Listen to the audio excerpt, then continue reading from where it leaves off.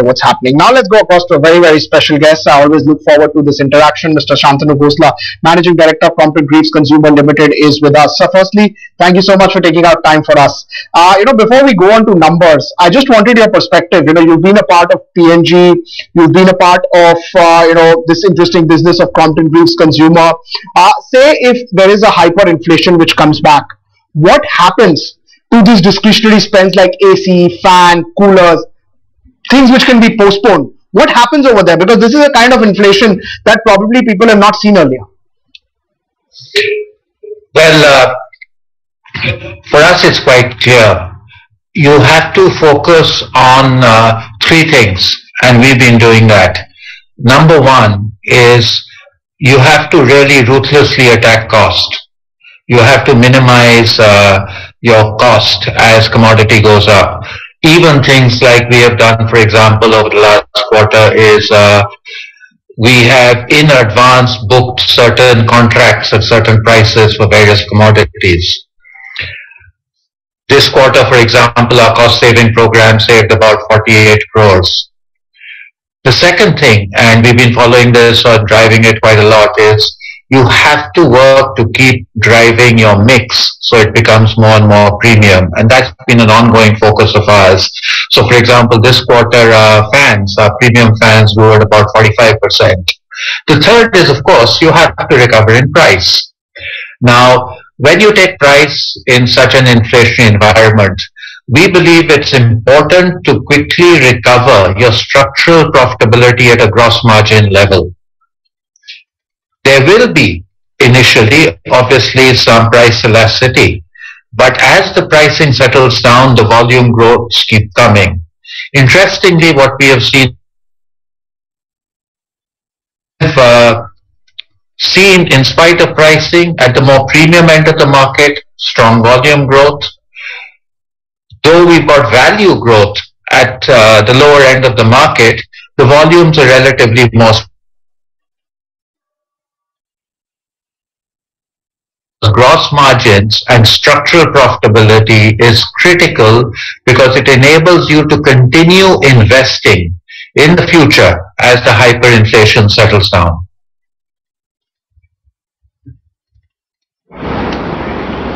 Right, sir. So that's an interesting answer as to what uh, various companies should do. Now, can you talk about the festive demand? What we are hearing from various e-tailers, various uh, marketplaces is that most of the products are not available.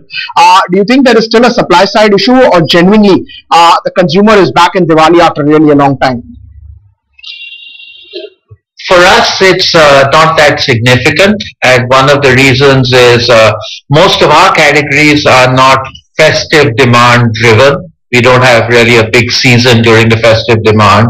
For some of our smaller businesses, such as small appliances, there is, an, is a, a festive demand factor. But for most of our business, the seasonality, if at all, is more uh, weather driven. Summer is a big season for us.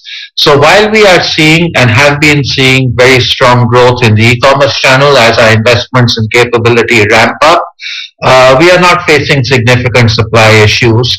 One of the things which we did, which I believe is helping us during this period is uh, in the beginning of the quarter and even to some extent last quarter, we uh, invested in building up our inventory partly learning from uh, last year's experience where there were supply chain disruptions. And that has helped us, uh, if you will, weather the small challenges we may have had.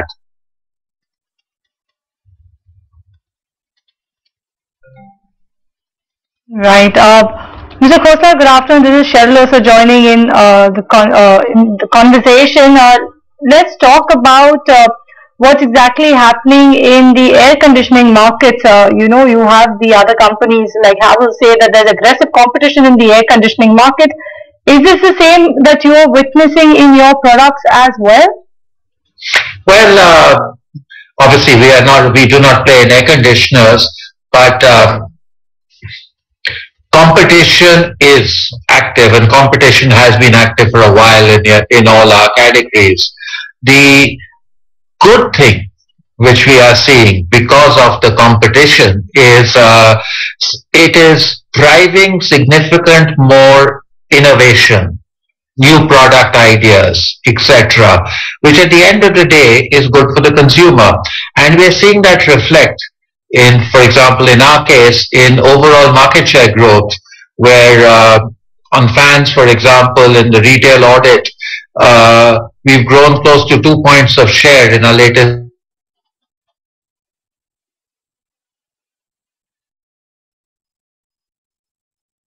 across all our categories. We're continuing to invest behind them, and that actually is helping us uh, gain share in spite of uh, you know number of new players continuously coming into the marketplace.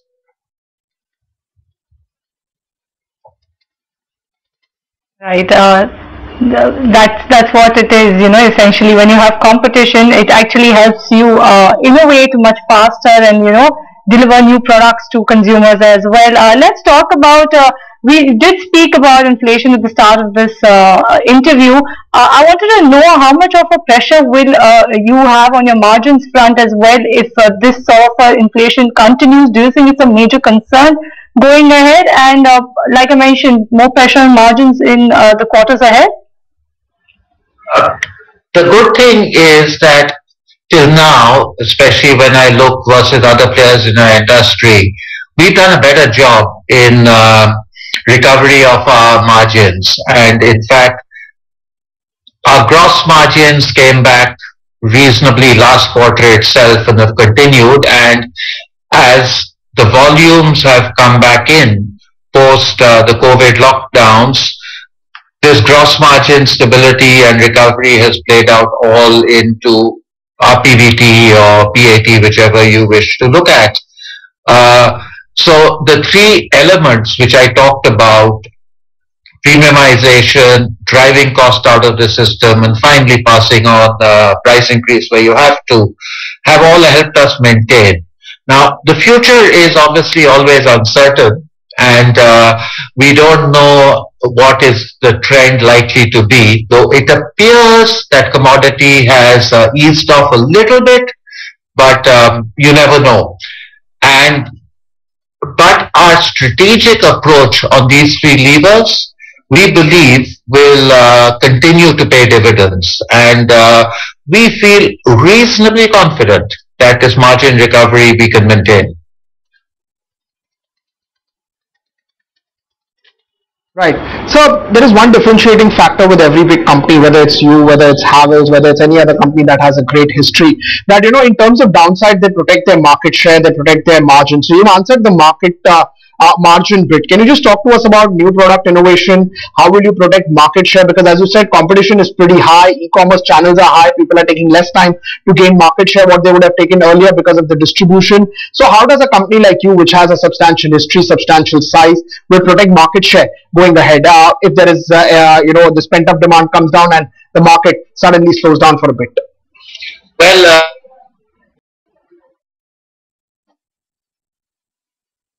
and introduce uh, meaningful new items, which we continue to do. In fact, for us, uh, one of the key measures we look at is the percentage of our revenue which comes from new products introduced in the last 12 months. And that percentage has been continuously increasing year on year.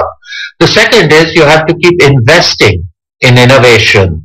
And that's where the strength of our balance sheet helps because through this entire COVID period and second COVID wave, we have continued to make those investments.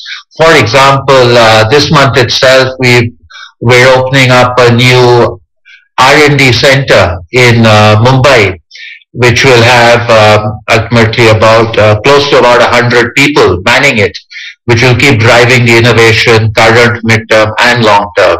So it's uh, invest, and keep investing in innovation ultimately is the answer. And if we can keep doing that, I believe um,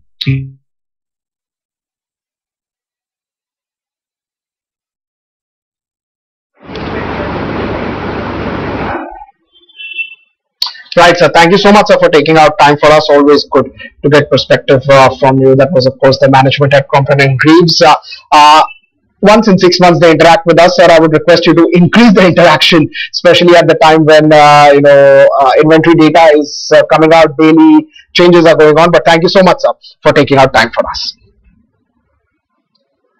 On that note, completely out of time, taking a break. Stay tuned. Markets looking flattish with a positive bias, but the mid cap index is on the weaker side.